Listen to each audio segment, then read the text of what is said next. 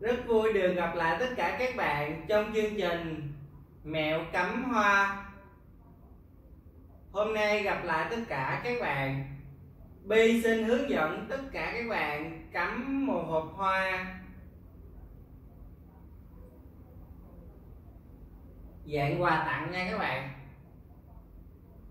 Và hộp hoa này, nó hình dạng trái tim. Các bạn có thể mua hộp hoa cái dạng hộp này ở trong nhà sách. Và nó là hộp quà. Mình có thể tận dụng những cái hộp quà sang trọng, những hộp quà cũ để các bạn có thể cắm hoa vào và tặng nó. Thì nguyên liệu hôm nay Bi chuẩn bị gồm có một hộp quà hình trái tim đã vào form sẵn nha các bạn. Hồng cam spirit.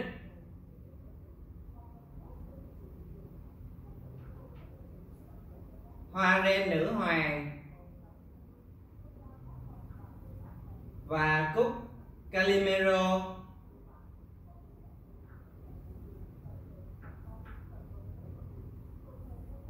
Lá phụ bi dùng lá đinh hương. Nó là lá biên nha các bạn nó có vân trắng rất là đẹp.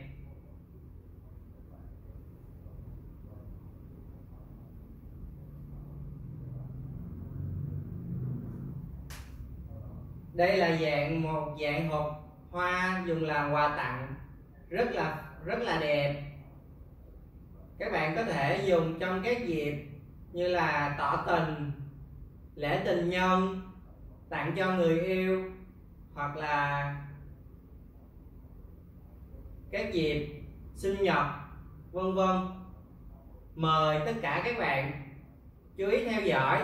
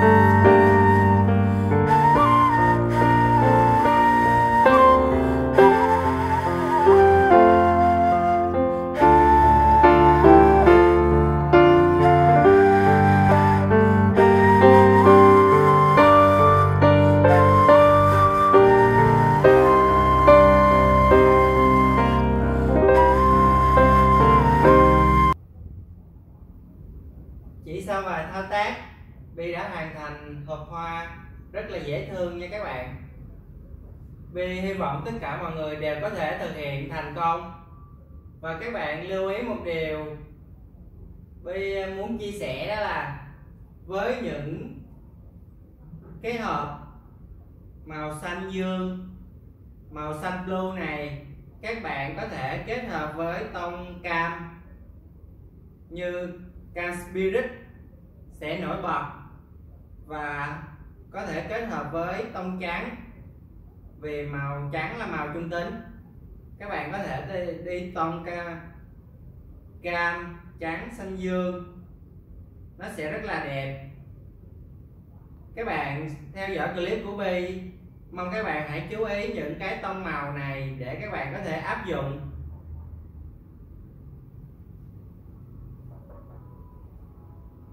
Bi hy vọng tất cả mọi người đều có thể cắm cho mình một hộp hoa dễ thương như thế này nếu thấy hay, mong mọi người cho Bi một like, đăng ký kênh và có thắc mắc gì, mong các bạn để lại comment. Bi sẽ giải đáp tận tình. Xin chào và hẹn lại tất cả các bạn ở các clip tiếp theo. Bi xin chân thành cảm ơn.